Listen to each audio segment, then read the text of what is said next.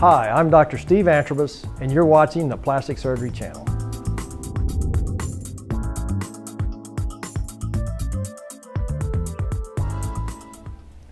Hi, I'm Dr. Bill Adams, Chief Medical Officer of the Plastic Surgery Channel, and welcome to PSC Hot Bites, our newest program where the channel's experts cut to the chase, providing real answers to questions you want to know on hot plastic surgery procedures, topics, or technology.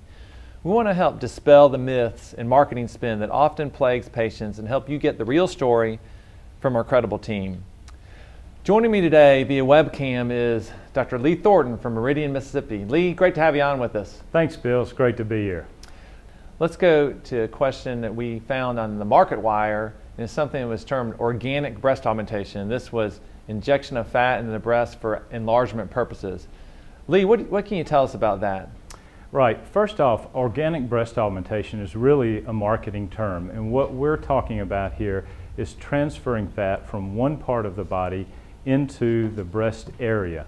This procedure of fat transfer has been around for many years and we've used fat from various areas in the body to augment lips, to augment facial wrinkles, and we have a long experience with that and it appears to be very safe in those areas. We don't have really the long-term data on the safety of transferring fat into the breast. There's more and more scientific research being done on this. There appears to be good data coming out of Europe and the United States with using this for breast cancer and more and more data coming along for cosmetic breast augmentation, if you will, using fat transfer. However, the jury is still out on it and we'll have the final word in years to come. And Lee, I uh, really appreciate you time or taking time out of your busy day to visit with us. Thank you. So we hope you enjoyed this segment of PSC Hot Bites and be sure to get your next bite on our website, theplasticsurgerychannel.com.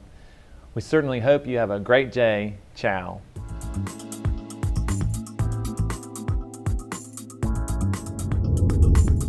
Hi, I'm Dr. Steve Antrobus, and you're watching the Plastic Surgery Channel.